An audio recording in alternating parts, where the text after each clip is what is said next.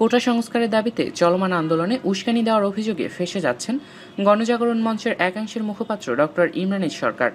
তার বিরুদ্ধে অভিযোগ শাহবাগে শিক্ষার্থীদের অবরোধের প্রথম দিন, রবিবার রাতে পুলিশের সঙ্গে সংঘর্ষে এক ছাত্রের মৃত্যুর গুজব ছড়ানো।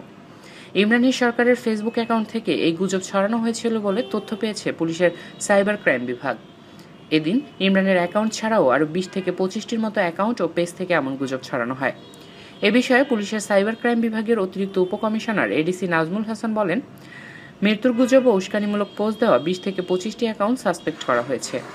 এদিকে মঙ্গলবার সচিবালয়ে নিজ দপ্তরে স্বরাষ্ট্রমন্ত্রী আসাদুজ্জামান খান কামাল বলেন, ফেসবুকে মৃত্যুর গুজব ছড়িয়ে যারা আন্দোলন উস্কে দেওয়ার চেষ্টা করছিলেন, তাদের বিরুদ্ধে তথ্য ও যোগাযোগ প্রযুক্তি আইনে মামলা হবে। আন্দোলন চলাকালে চোখে মারাত্মক আঘাত পেয়ে আবু বকর সিদ্দিক নামে এক শিক্ষার্থী ওই দিন অজ্ঞান হয়ে পড়ে যান।